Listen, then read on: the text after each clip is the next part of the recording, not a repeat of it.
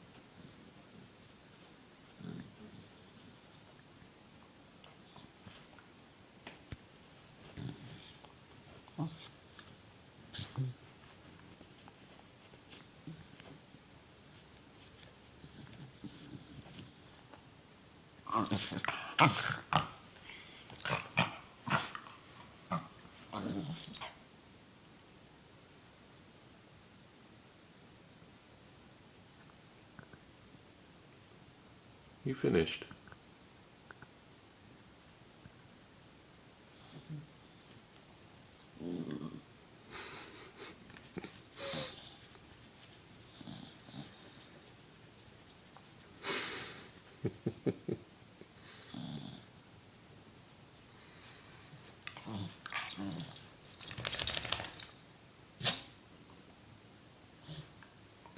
You ready for the day then?